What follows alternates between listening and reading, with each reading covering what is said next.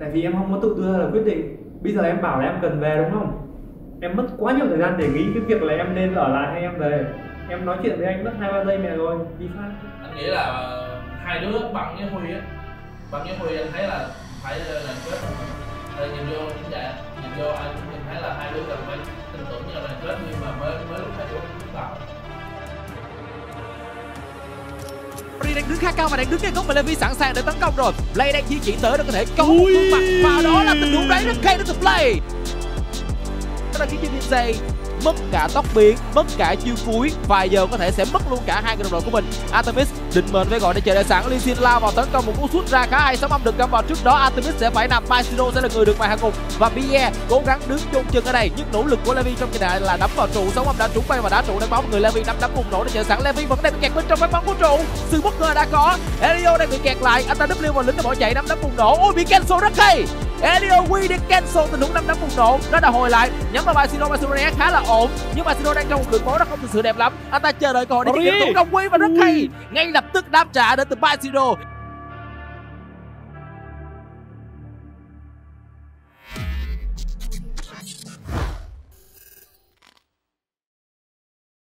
nhỏ nhưng mình không có làm một cái xong luôn không mình hoàn hảo được không có. Thì đầu tiên là anh nghĩ là không khí team em thì chắc tiếc nuối thôi tại vì mình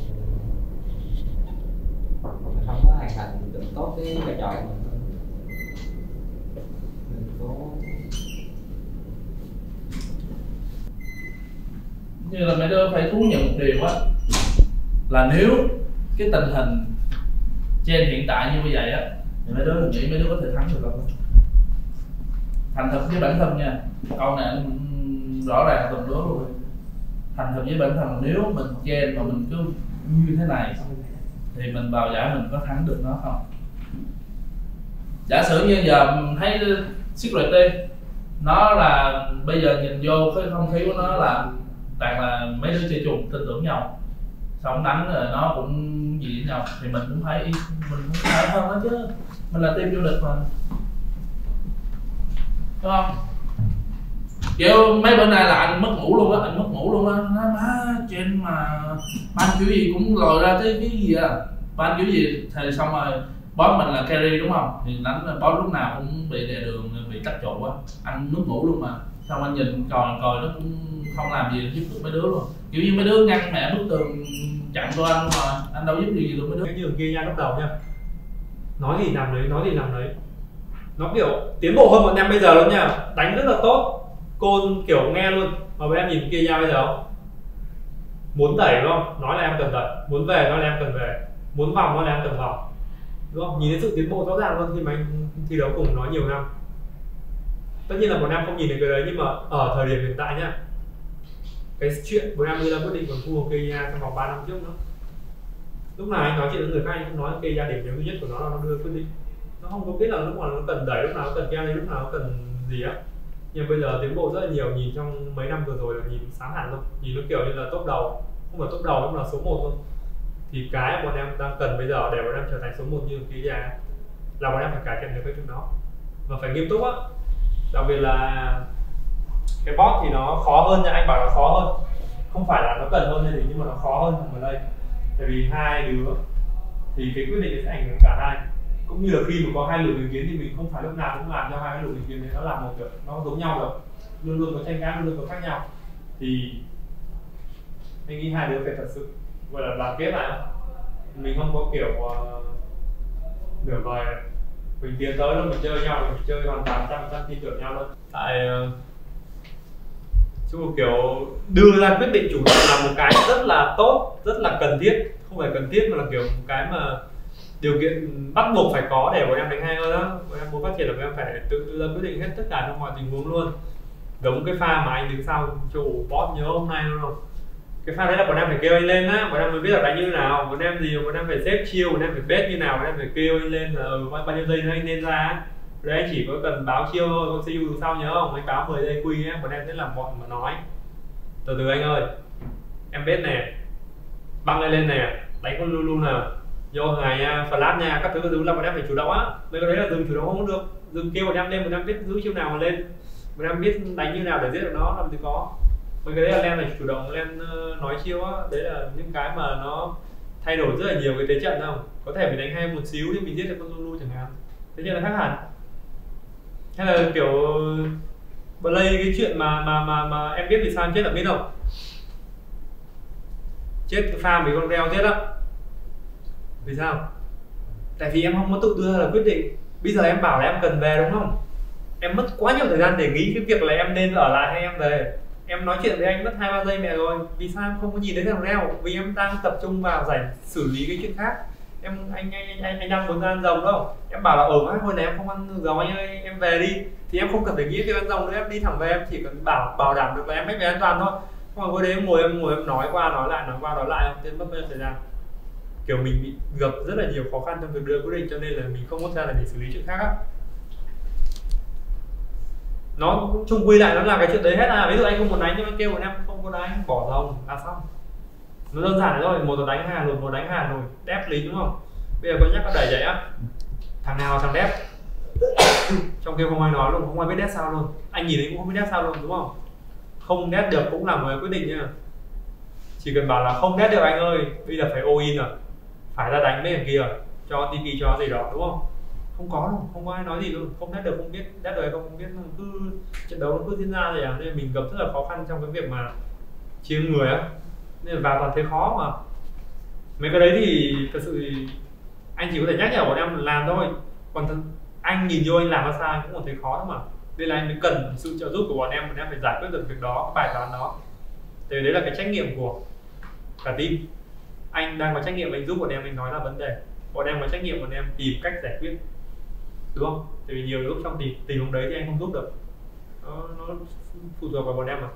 Không tướng đánh sao hay gì đó. Ví dụ như là huy cái farm mà huy ờ, đứng ở trụ bot á. Sau đấy anh nói với huy là là là huy đứng trụ đi huy đi đi, đi ra bụi chẳng ba vì sao anh nói vậy? Đúng không? Nó có hai trường hợp huy phải tính trước luôn. Thằng AD nó có lên không? Tại vì chính mồm huy nói là thằng AD nó có thể lên rồi đó đúng không? Thì huy phải là thằng dẫn thẳng vào trụ nó luôn. Tìm thằng AD nó. Nếu mà nó lên, thì bảo anh em lui. Cho em lấy trụ. Nếu mà nó không lên, thì bảo anh em bốn mét bốn. Đúng không? Thì đấy là quyết định của huy. Chứ huy tiên, huy đứng ở bụi trăm ba, xong cái anh hỏi huy là, sao không ở trụ? Thông tiên thấy thằng AD nó ở trụ rồi thôi. Anh bảo huy là, thôi, bỏ đi. Xong ở trên anh nói, bốn mét bốn. Xong huy cứ chạy lên. Tại vì huy không tự đưa ra quyết định trong tình huống đó, cho nên lúc mà anh nói cô là em sẽ bị nghĩ, anh Khánh cần gì ở mình ta? Đúng không? Mấy cái đấy là mình nghĩ à. Nên là mình nhìn lên trên mình không biết thì mình có thể hỏi tại vì hỏi nó có một cách cũng dễ. Hỏi bốn phép bốn từ cô anh em anh em kêu là được em cứ ở dưới thôi. Hai ngày nữa mình sẽ có một trận đấu cũng rất là quan trọng. Đấy thì bây giờ làm sao để hôm nay giống uh, head coach mới nói rồi các em cứ chia sẻ đây bây giờ nhưng mà bước ra ngoài đó. Right it's the next game. Tất cả mọi thứ nó là về cái tâm lý của mình. Mình sẽ tập trung vào cái gì quay lại cái triad right về cái tại sao bây giờ ngày mai morning routine blah blah blah để vì các em mình muốn các em có một cái tinh thần tốt các em tự tin lên. Xong mình sẽ tập trung vào việc gì? Các em suy nghĩ về cái việc ờ, cái suy nghĩ về cái thất bại của mình hoài xong rồi nó cứ linh lên trong đầu mình nữa nên mình đang đưa cái ý nghĩa cái ngôn ngữ mình đang dùng cho bản thân. Đấy đó là một cái ví dụ là em đang đưa nhiều áp lực quá em đang đưa cái ý nghĩa đó cái câu chữ đó nó, nó là nhiều áp lực cho bản thân em. Và một trận thua đâu có gì đâu we still in it, baby. We're still tied for first place. Thì đúng là có một cái điểm như thế này. Bên phía của Gam ở giai đoạn vừa qua lần được đi á, mình sẽ không nói là phụ thuộc, tại vì thực ra là họ cũng đánh một cái số lượng tướng tương đối ở khu vực đường dưới. Nhưng họ ưu tiên cái cặp Lucian Milio rất là nhiều. Cái này không phải là vấn đề nha anh em. Tại vì Lucian Milio ở trong các phiên bản vừa rồi nó mạnh. Cho nên việc ưu tiên Lucian Milio là chuyện hoàn toàn bình thường. Gam vẫn thắng rất nhiều ván đấu với Lucian Milo thì cái chuyện đánh nhiều nó không có, chẳng có vấn đề gì cả. Cái gì thắng thì cứ spam thôi. Đây là một cách chơi đơn giản. Nhưng mà ở thời điểm hiện tại mình nghĩ là bắt đầu đã có một số thay đổi về mặt phiên bản. Thì gam cần ở ngay thời điểm này là gam cũng bắt đầu cần phải đa dạng hóa cái số lượng tướng ở khu vực đường dưới nè. Lucian Milio hiện tại ở phiên bản 14.3 này mình không nghĩ nó còn ở mức độ ưu tiên cao nữa. Tức là mình nghĩ là trận thua vừa rồi là một trận thua rất là đúng thời điểm của gam luôn á à đó rồi một nó như kiểu là mình bị giới hạn thương em kiểu khó chịu à đó rồi muội rồi đó rồi muội ơi tiếng núi thôi tại vì mình không được. Không được. Băng ơi cái này không được. Đừng có kiểu này kiểu kia em. Mình là một game thủ chuyên nghiệp. Thì huấn luyện viên nói sao quýnh sao thì mình sẽ đã làm theo như vậy. Mình sẽ phải làm theo như vậy. Tôi từng là game thủ chuyên nghiệp. Luyện viên kêu tôi cái gì? Tôi đáp ứng được cái đó. Chỉ biết đáp ứng thôi và chỉ nghe thôi. Không được nói như vậy với băng á băng sai rồi.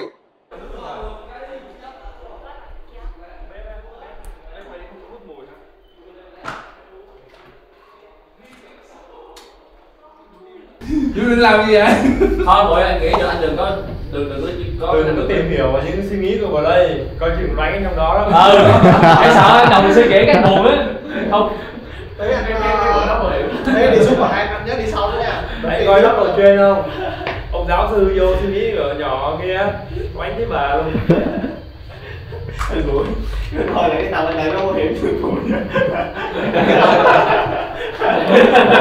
Wow editor chèn cái ờ, cái hình ờ, vô đây nha. Lâu lắm rồi.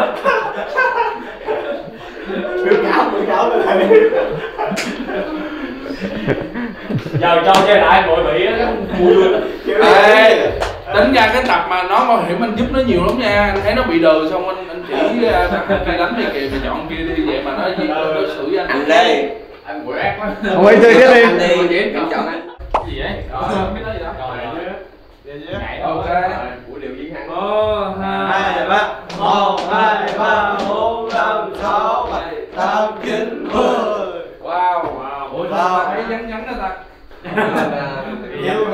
Nay thì à, đánh với tâm lý thoải mái thôi. Thì à, đừng có đặt nặng vấn đề hay là áp lực gì hết. Mình cứ đánh thoải mái với cái điều kiện đội hình của mình thôi. Thì mình đã tập luyện như thế nào thì mình đánh như thế đó. Rồi xong rồi à, như anh đã nói á, thì hôm nay mình phải đánh có mục đích là mình cố gắng dìm team mình. Hú! A! Huy! Ca Bắt đầu lên Ca Ca Một hai ba! Ca nhắc nhau liên tục nha tôi xin để lại phần tư đi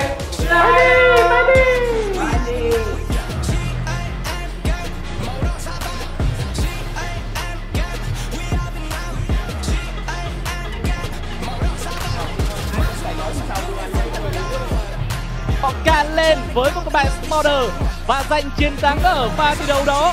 Và sau đó họ end game và tỷ số sẽ là một không dành cho Gabi Sports Viết đẩy Smolder lên trên và để cho Senna xuống vùng đường dưới là một trong những sự lựa chọn rất thông minh đến từ từ phía Gabi họ tạo ra sự bất ngờ rất lớn trước các tình của Thiên Well và đội hình của Tuyên về sau ván đấu rất khó để chơi. Họ gặp phải rất nhiều những cái nguồn sát thương từ tất cả mọi tuyến được tạo ra.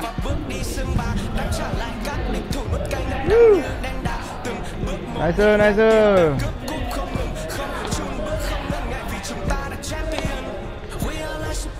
nice nice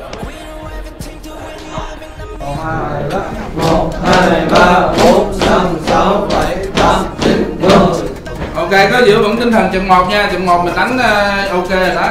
Một à, Hai ba Ca Kia già né chiều cuối. Glory bao nhiêu sát thương Glory nằm rồi. 100 phần trăm. Lucas mọi thứ có thể. Và người đang bị xuất về cái được tập trung là Antamis và Spada sẽ làm gì đây? Spada cũng sẽ có thể nhìn vào kia ra tấn công vào kia ra những elo chạy ra để có thể hỗ trợ và Spada sẽ phải lùi về một tí xíu. Baisiro đang bị nhắm tới với tạo từng vũ đột người đang chạy ra Spada Spada bổ một tóc biến nhưng cũng quá nhiều người hỗ trợ cho Baisiro nhưng Baisiro cũng đang phải nằm. Spada vẫn đang nỗ lực bổ bổ một bổ hai bộ khá đẹp. Nhưng không có chiến thắng một cú nổ quá tuyệt vời để sắp xét hủy diệt. Và Gavin Sport họ là đội giành chiến thắng chung cuộc 2-0 ở cặp trận đấu derby lượt về Bên bạn trong giải này anh mình đã làm rất tốt thì em mong là anh sẽ làm tốt hơn nữa. Để tri ân năm thứ 10 của Gam ạ. gì vậy mọi người, mọi người có thể quay lại cái ảnh đấy được không tri ân TS tại sao? Tại sao chúng nó tri ân TS thì đúc mà ok mà thì thật ra cái trận 1 mình không theo là mình thắng TS rồi. Sao